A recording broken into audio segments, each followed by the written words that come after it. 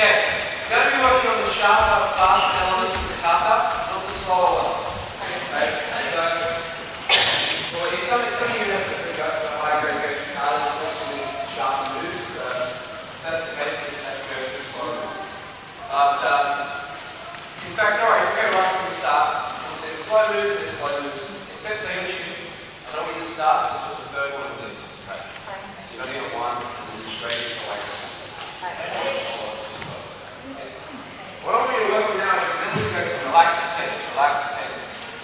Again, this is such an important principle because if you're too tense too early, the technique will be slow and it will be robotic. And if you're too relaxed when you need to be tense, the technique will flop like a dead fish. You'll get, the, you get that reverb. Oh, oh, that little word reverb, rather than finish, finish, you go back. Because you're just not tense enough at the right time. You're tense enough too early. So let's just get in the right tense at the right time. So what you're going to do is, and I'll show you so in fact you can just squat. Very hard. Close time. Nice hard, relaxed tense. Here's what you're going to do. You're going to stand right the. Large right hand against the rope. No backsides. Shoulders especially, lats. Okay? And you're going to count them through the kata and just watch what I do because I want you to work on that ability to go from relaxed to tense and back straight back to relaxed. Because you're getting hold on to your tension. the next move will start slow. Okay, ready? And relax. Three, two, one. Itch.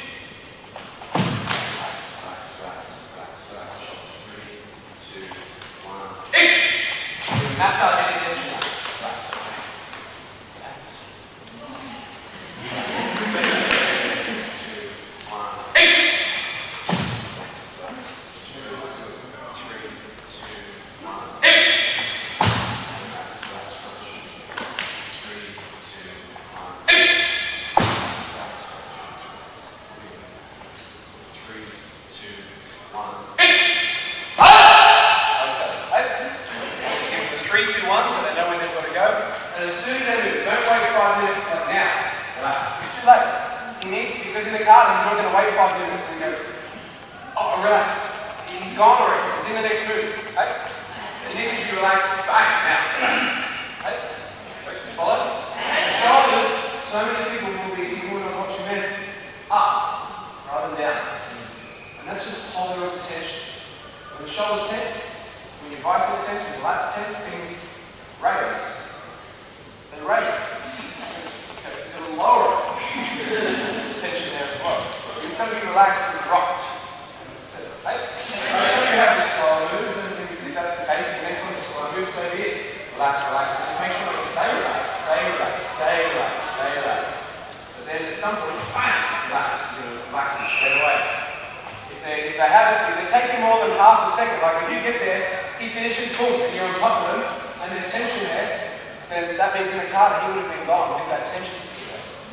So by the time he finishes, just punch again. If there's still tension now, then it would have been there in the kata. So I've got to feel relaxed straight away. So I'm just trying to coach that out of him, but I'm going through the entire kata because by the end, I want him to finish the punch and go right up and relax. Nice. Just keep the front four. Hey. Three, two, one. Relax, relax.